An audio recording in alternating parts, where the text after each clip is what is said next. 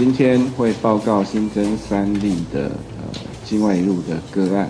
那这三例呃分别是五二五到五二七。国内今天再新增三例武汉肺炎境外移入病例，这三例都是外籍人士，分别来自菲律宾及乌克兰。其中案五二五和案五二六是菲律宾籍的二十多岁男性和三十多岁女性。两人都是因为工作，在今年九月二十四号从菲律宾来台，入境时都没有症状。案五二五在十月七号集中检疫期满前进行裁剪，结果在今天确诊，目前住院隔离中。案五二六则是在十月七号集中检疫期满前裁剪为弱阳性，十月八号再次裁剪，结果在今天确诊，目前也是住院隔离中。这两个案入境时也都在机上全程戴口罩，检疫期间也没有跟其他人接触，所以没有呃框列接触者。至于案五二七是一位乌克兰籍的三十多岁男性，而这也是台湾首度出现乌克兰籍的境外移入个案。这名个案因为工作，在九月二十二号从乌克兰入境，十月七号居家检疫期满解除后，由公司安排自费裁剪，结果在今天确诊，目前住院隔离中。掌握的个案接触者共有九人，其中七位是公司的接触者，都是列为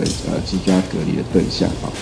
那呃，不过后来呃，他还有两个呃司机呃，他们两个都在全程戴口罩，所以就是自我健康管理啊。由于指挥中心从九月二十四号开始，要求菲律宾入境的旅客都得在集中检疫场所完成检疫，且需在检疫期满前再进行裁剪。庄仁祥表示，今天的案五二五和案五二六就是这个政策实施后发现的首两例个案。而国内截至今天共累计五百二十七例确诊，分别为四百三十五例境外移入、五十五例本土病例、三十六例敦睦舰队以及一例不明。